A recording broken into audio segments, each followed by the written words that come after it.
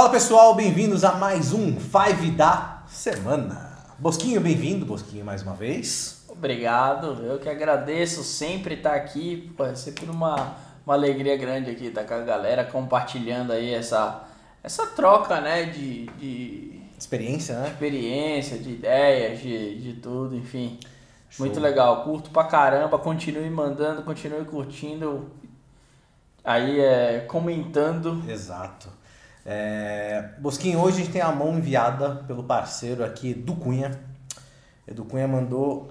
Ele tava jogando. Parece que é um torneio aqui, né? E- É, torneio, se não for torneio, Não, é tá- cara, tá escrito viu? aqui. É, É um torneio, 3K torneio, garantido, eu acho. Isso. E ele tá com 63 mil fichas. Blind é No 8,16. blind 816. Então tá com a calça curta aqui, o nosso Calça curtíssima. Tá com a calça curta. Vamos ver o que, ele mandou. Fala turma, como vocês estão? Vejam essa mão de torneio. Vamos lá. O que acham do meu chove? Eu estava muito short e não via mais como poderia ficar foldando. Me dê algumas dicas aí. Abraço e obrigado. Bom, Vamos lá. então ele estava short, ele, ele sabe que ele estava short. Vamos ver o que a gente acha desse chove aqui. Bosquinho. Ele tem 44678 double suited, tá? Mas com esse stack, Bosquinho, vamos ver o que, que chegou aqui pra ele, né? Qual foi a ligação? Fold. Parceiro na esquerda tem 694 mil fichas ali. Veio call, call e um chove do botão. Chove de 60 mil. 60 mil. Também tá shortaço o botão. E aí nosso amigo Edu decidiu por tudo na tela, 71 mil total, com os blinds, né? Tomou um instacall do, do parceiro da esquerda, tomou call lá em cima também, e tomou call do outro parceiro também. Então a gente tem dois jogadores de all-in, flop para 5, Bosquinho. Só isso, da mesa com 6. Exato, mas a gente tem um potaço também. Se puxar, tá de volta pro jogo. De volta pro jogo. Né? Essa é a vontade. 346 mil fichas no pote. O que, que o senhor acha desse range para encarar um chove pré-flop contra quatro jogadores, estando short desse jeito, né? O que você achou da jogada dele? Assim, é, é, Sato, é que ele tá muito curto, então Uhum. ele se vê na, é, com a ideia de ter que dobrar todo custo, de ter que. E aí qualquer mão por oportunidade vai todo mundo na mão. Eu tenho que pôr 60, se eu der uma sorte aqui, eu vou. Eu vou voltar pro jogo, eu puxo a mão. Mas assim, contra quatro ali é, é bem, é bem sick. E assim, a vantagem do Omaha é que não tem ante né, nos torneios de Omaha. Então, assim, é, por exemplo, acho que seria melhor se esperar, talvez, para chovar, ainda mais que você tá no small, né? Você vai ter mais uma órbita completa. Vai ter algumas vezes que você vai chovar, né? Que você vai abrir ali 3x, né? Que vai ser pot pré-flop. E vai ser praticamente seu all-in. E vai jogar só contra o Big, talvez. É, dependendo do Big, mas provavelmente. Matematicamente é melhor. E aí, né? matematicamente é melhor, porque provavelmente ele vai te pagar com qualquer mão, a não ser que você dê o azar óbvio de pegar ele trepado. Ou qualquer um outro da mesa, né? Sim. Porém, a chance que você vai ter de dobrar é maior. Então, então assim, aí é aquela coisa, né? Meio gamble, é, Vamos vamos ver pro pau acontece. e tal.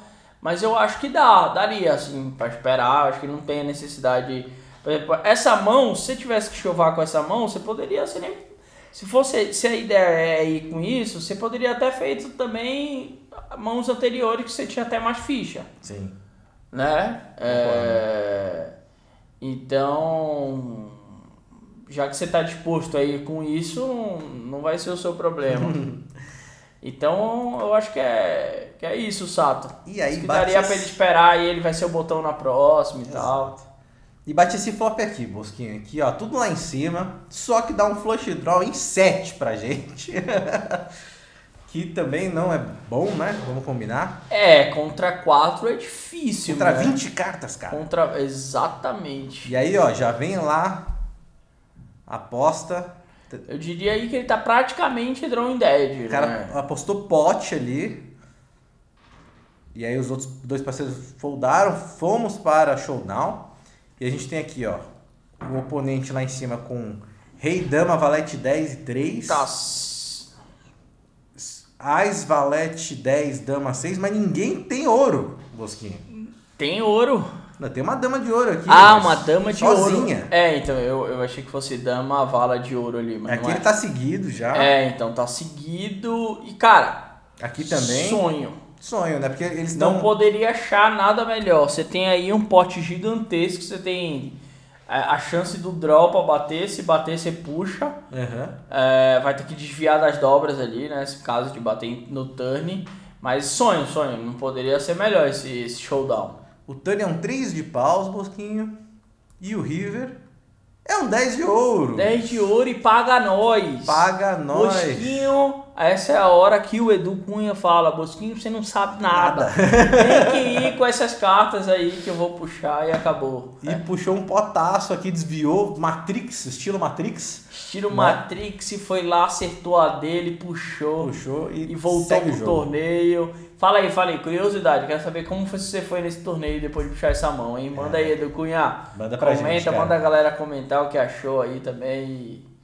E, é nóis. E é nóis. Mas acho que a grande lição dessa, desse note que o Bosquinho fez é realmente não necessariamente pensar só na sua mão, no range, mas pensar no momento, né?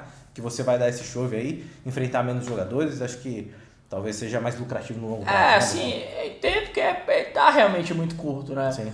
A vontade não amarra que você tem chance com tudo, como você realmente teve aí, é de qualquer coisa, mas eu acho que ainda assim dá pra você escolher talvez situações melhores aí. Perfeito. Edu, muito obrigado aí por ter mandado sua mão, cara. Espero que você continue forrando na nossa sala aí, como você vem forrando. Bosquinho, mais uma vez, obrigado pela participação. Eu quem agradeço, Pedro Sato, mais uma vez. Obrigado a todos que estão nos acompanhando aí. É isso, continue mandando que tá show de bola. Curto demais fazer esse programa aqui. E recebi algumas mensagens no PV, a galera tão go- tá, tá gostando, a galera tá gostando demais e tá bem legal fazer, então é isso. A gente se vê na próxima, um beijo a todos, Um beijo a todos e até mais. até mais. Falou.